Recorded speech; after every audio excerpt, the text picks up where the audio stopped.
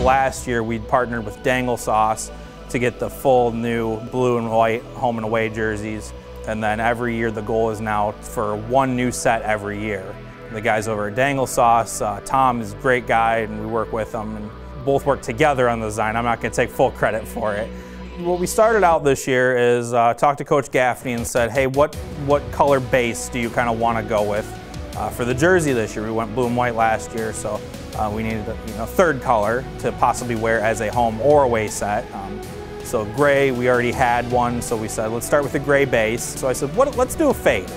Can, we, can we do that? Can we fade from gray to white? Tom goes, hey, I have this chrome, this, this chrome fabric. What, what do you think about doing that around the numbers? Uh, I think it matched perfectly with the gray uniform and it just makes, it's just that extra level of pop that we're trying to go for. We're trying to stand out.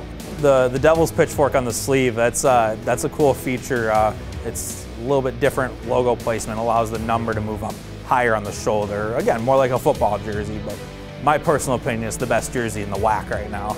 I'd even, I'd, I'd throw it up against uh, any team in the ACHA as well, uh, Division One or Division Three.